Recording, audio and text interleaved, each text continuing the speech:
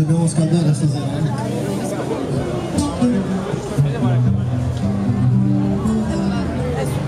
Siete i sudi belli proprio.